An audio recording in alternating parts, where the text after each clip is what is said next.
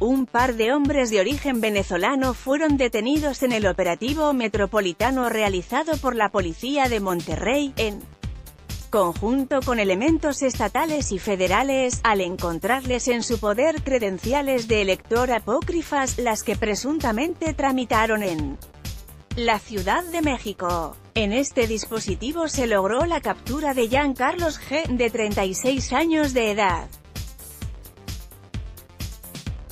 Y José Miguel H., de 40 años, quienes mostraron las identificaciones falsas del Instituto Nacional Electoral, con dichos nombres.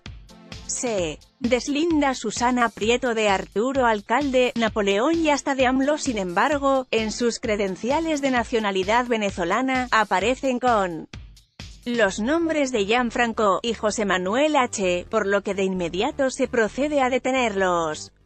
La detención se registró a las 1 y 30 de la madrugada horas, en el cruce de José Alvarado y Las Pampas en la colonia Ancón del Guajuco, a bordo de un vehículo Chevrolet Neón, color beige, con vídeos polarizados y con placas de circulación ND. 4385, del Estado de México. Elementos de la Policía de Monterrey en conjunto con Fuerza Civil, Agencia Estatal de Investigaciones. Policía Federal y Policía Militar, implementaban un filtro de seguridad cuando observaron dicho automóvil, situación por lo que les marcaron el alto. Al descender del vehículo, notaron la actitud nerviosa de los dos hombres, argumentando además llevar prisa.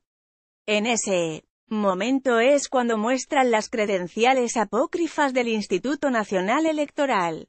Al momento de realizarle una revisión, les encuentran a ambos entre sus pertenencias, una identificación emitida por la República Bolivariana de Venezuela y otros documentos migratorios.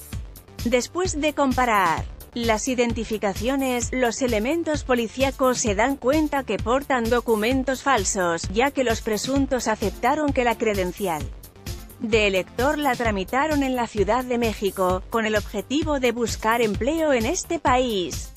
Ante esto, los oficiales detuvieron a los dos hombres, quienes fueron trasladados a las instalaciones de la Secretaría de Seguridad Pública y Vialidad de Monterrey, donde quedaron a disposición del Ministerio Público, para las investigaciones correspondientes.